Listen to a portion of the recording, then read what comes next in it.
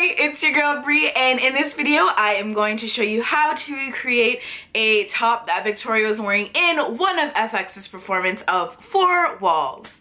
These four walls.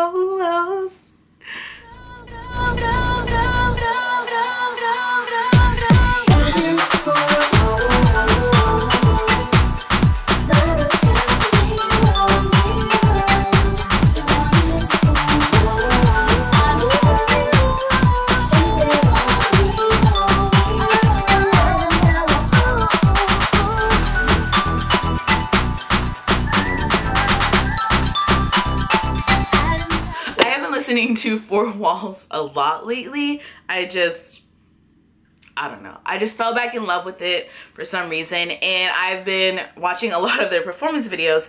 And in one of their performance videos, they were wearing these like black and red outfits. And Victoria was wearing this long red tunic. And I was like, girl, girl, that is hot. I needs that. So I decided to recreate it for all of y'all. Um, yeah, if you're new here, please make sure to hit the subscribe button. Um, also make sure to give this video a thumbs up and stick around to the end because I'll be checking in with you guys there. For this tutorial, you're going to need 2 yards of a pure red, bright red fabric. Victoria's tunic was made out of a sweater material, but I couldn't find the right color in the sweater fabric, so I went with a lightweight crepe fabric that had quite a bit of movement and the color was just perfect. You'll want to grab a 7 inch zipper for the closure so we can get it in and out of our tunic. And what good is a zipper if you can't make it dance? Oh, okay. Starting with the front piece, I used a top that fits me well as a pattern and then cut it out from there. You'll want to lengthen the hem at the bottom, obviously, and you'll want it to hit about mid calf or so. Honestly, how long you make it is up to you. We just want it to be long, okay? The back is actually two pieces because we want room for the closure. You heard me? You can just cut out the back piece and then cut it in half straight down the back. For this top, we want to add two bust darts, so one on the left side and one on the right side. And our dart is going to start three inches down from the armpit hole and it's going to be one inch wide. So you want to mark three inches down and then an inch from that three inch mark. I've made darts before, so if this is boring for you, sorry about it, but it's muy importante, okay? So I'm going over it again. Our dart also needs to be 4 inches long and we'll start with the top line. That needs to be straight so you're just going to mark a straight line and then the bottom line will be at an angle meeting the straight line so then take your chalk and draw from there meeting the straight line. Quick tip when pinning the dart. Put your pin in through one line and make sure it comes out the opposite side lined up with the other line. Then going back in that line, come out the opposite side.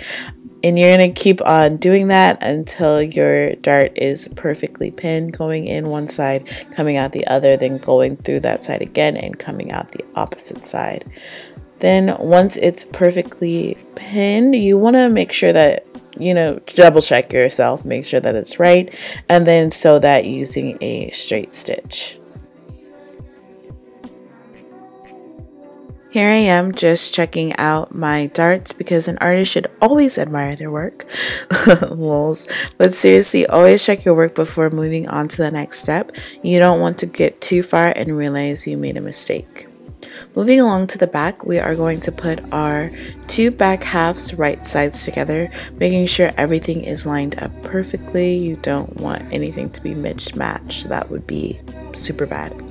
Lay down your zipper with the top of the zipper lined up with the top of the back halves. We want to mark where the zipper ends with the pin. This pin serves as a marker. We're going to sew the back together using a straight stitch, but everything above the pin you want to sew with a longer or a looser stitch since we're going to undo it later.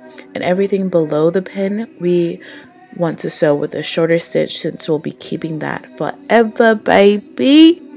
Next up, lay open that seam and place your zipper in the opening. Obviously, we're going to match the top of our zipper with the top of our neck hole and then we are going to stitch that into place using a straight stitch going down one side and then um, across the bottom and then up the other side. Once it's stitched into place, take your seam ripper and undo those loose stitches. Take your time with this step okay? Like, you don't want to catch the fabric and make a hole. It is so bad and it just is not worth it, okay? So take your time, especially because this is a delicate fabric. You definitely want to move slowly and purposely, making sure to only tear the thread, not the fabric. And then get rid of those excess threads and cut, cut, cut. Then make sure the zipper zips and works. Spoiler alert, it works. Okay. Now we are cooking with grease. With our front piece right side up, we are going to lay down the back piece, making sure our right sides are touching, and then sew them together using a straight stitch at the shoulder. Forgot to mention this at the beginning, but to finish our armpit holes and neck holes, we're going to need a few one and a half strips, specifically three of these. Okay, three, three. Lay open the top so you are looking at the top of the shoulder seam. Take one of our strips and fold it in half. You're going to line up this fold with the shoulder seam and start pinning it to the curve. Once the strip is pinned into place, you are going to attach it using a straight stitch. Once we've sewn it down, we are going to fold the strip under. So now the wrong side of the strip is touching the wrong side of our top and we're going to press that down with an iron. You're going to move carefully and slowly to make sure everything is clean and even. So fold that strip so wrong sides are touching and then take the iron and iron it down. You want to do this to both sides, obviously. Um, I think that goes without saying, but I'm going to say it anyways. And then you're going to secure this in place using a top straight stitch. Now we're going to close up the sides. Victoria's top had a slit on both sides, so we are going to only sew up the side about 9 to 10 inches and then leave everything else open. Okay, only 9 to 10 inches is sewn up on the sides. Up next is finishing the neck hole. Taking our last fabric strip, fold it in half and line up that fold with the center of the front. And then you're going to start pinning from that center point. Once the strip is pinned into place, we are going to attach using a straight stitch. I like to start at the center and then stitch towards the back. This just allows it to be straight and even. The folding, ironing, and top stitching that we applied to the arm closure, we are also going to do in the neck closure. And you should have really nice, clean armholes and neck holes. Our last step is hemming the slits and the bottom.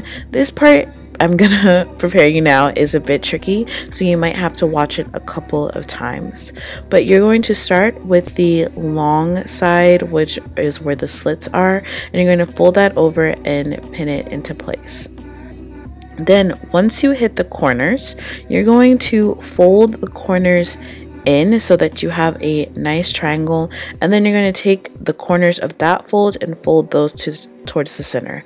I like to think of it as, you know, when we used to make those paper airplanes, the first step is taking the corners of the paper and folding those in so that you have a nice crisp point. That is what we're doing here so that we have a nice clean 90 degree angle at our corners. And then we're going to top stitch this down all along the edge so that it is a nice clean hem.